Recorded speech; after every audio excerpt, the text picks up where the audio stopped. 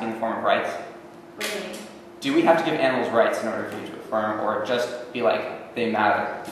Like, the, the entire advocacy of the AC is our entire concept of rights is reconceptualized by the new definition of morality, meaning Okay. if you run like T arguments on morality, on what No, no, no. What if I run welfare, for example? Why does that not solve that better for these types of anthropocentric It doesn't solve that better because we're still operating under the same mindset, which is only. Wait, why? Where's the word for why the mindset of anthropocentrism is derived from the fact that it is like, like, very. That, that's just it, it's just mindset. Okay, let's go through the arguments about the mindset in terms of welfare. Like, where would the welfare arguments I apply? don't talk about welfare. Okay, so let's go through the arguments about the mindset. What does Warren 1 say? Sure. What Warren one says um, is that like the that debate like, the in order for the debate to first happen, the, the framing of the round must first be done in a way that is like equitable and non-oppressive to the debaters. What? The way this The, wait, the debaters? Where does it say that? or like just in order not mean I guess it Wait, why does this even apply to debate? It just says that, like, a conceptual framework is a socially constructed set of beliefs that shape and reflect how one views oneself and others, and about women and animals. In the Western context, men and humans have been considered to be superior to women. Like, why does it even apply in debate? Why does it apply to debate? Yeah. Because you, like that's coming from the argument right above it that says the resolution of debate can't occur if you have. Wait, no, that's a tag, right? That's the argument, right? Like, Okay. The resolution of debate So the tag, it comes from the tag. it's The card comes from the It tag. comes from the argument under it that says any content or structure, uh, including color, rejection, or method setting. Okay. That's more fully fleshed out. Okay.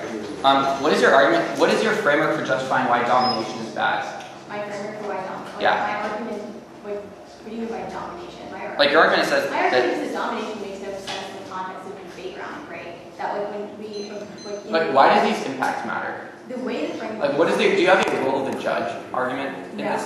Okay. argument- So why are the judges obligated to like vote on arguments that have to do with what impacts Sure, debate? because they justify the framework. What they say is they then explain why anthropocentrism and anthropocentrism are linked. It's just a justification for why we have to not look to anthropocentrism.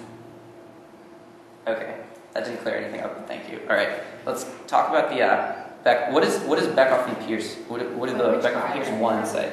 What is one? What is Yeah. the definition of what, what morality would be? Okay. Like, What what is The morality? framework calls for a reconceptualization of morality, and under the definition of by Bekoff and Pierce.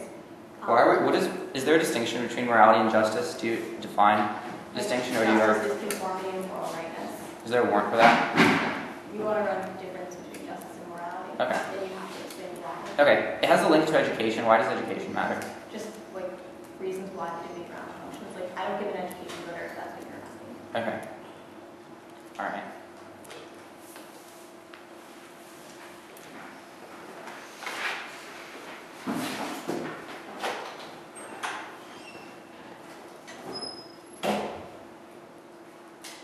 Morality is a social phenomenon, right?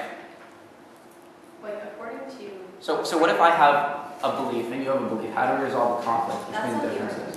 No, but no, I, I know that's not the argument. My question is, how do we resolve conflicting beliefs about uh, what morality means in terms of social context? Like what do you mean? Like, if I believe that we should give animals rights and you don't, how do we resolve those differences Well, in our, okay, in our that's because you're operating under different conceptualization of morality. Okay. You're asking, given what like morality is their or something, how this functions. My argument is that we need to do conceptualization of morality. It deals with interrelated behaviors of like Okay. interactions with animals.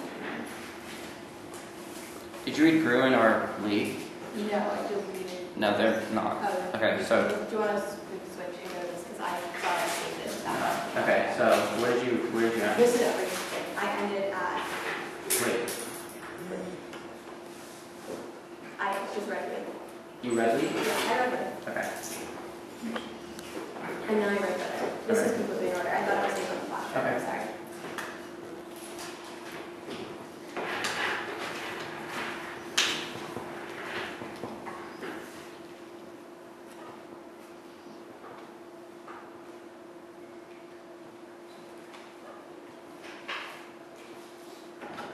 Okay, does the AC say the word rights in any of the cards? Um, the, like, ex- application of that is right under the definition of that. Okay, can can you, Like, tell- sure. can you show me this? Sure. The basic argument, right, is that when we reconceptualize morality, under that we also have to reconceptualize rights. So what are rights? Rights are the ability to function underneath morality, right? Like that is what a right would generally be. The right, when you are a moral agent, you have rights. Immoral agent, okay. So, so your birth, so if I, so my, what is my burden? My burden is to that animals don't function under a system of morality. Yes. Okay. And your system of morality, the baseline for determining that in a system of morality is what? Anthropocentrism is bad. So Right, like, so need wait, wait, wait. How does that deter? How does anything to do with what animals do? Anthropocentrism is the view that humans are the most. Right, but animals need some sort of capacity. So animals need to be able to function in that My system. So how does anthropocentrism... The entire point is that when you say animals need certain capacity, you're presupposing what you think to be valuable. Okay. And what, you're trying to apply capacities to them. Right.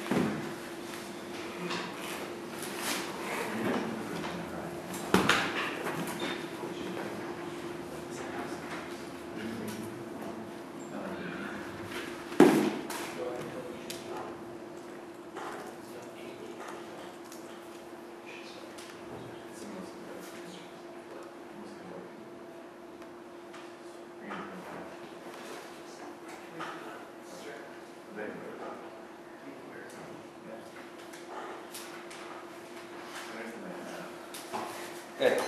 Um, I have 30 seconds.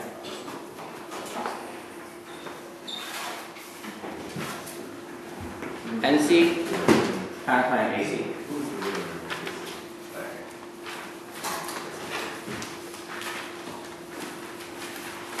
Sorry, can you say that again, Dan? NC, counterplan AC.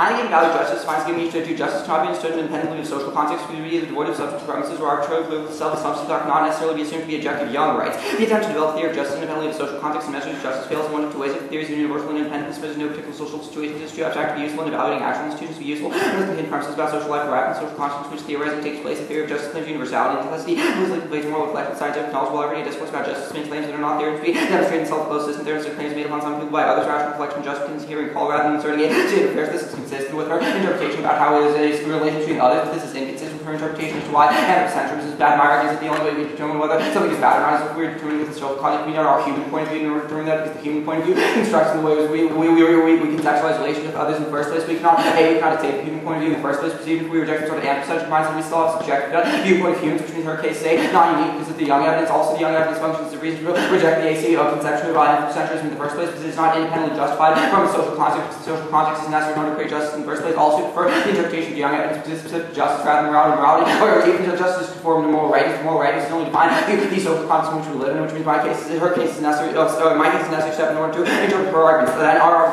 are only intelligible to the shared moral communities because they situate identities in interest case. The meaning of our moral what is recognized within the social community. Social beings create the identity through shared discourse language communities offer identity mean moral application only be within the social context. For example, practice be widely condemned for different reasons. Believe the rape is wrong because it's victims purity is different from seeing it as wrong because it features an object than person he has has sort of external justified standpoint such as as long as uh, apart from why it has sort of obligation to she doesn't rating sort of obligation to judge she doesn't externally justify why it is bad in terms of like debate or these other arguments only in terms of the concepts I want to talk about moral obligation in social communities also.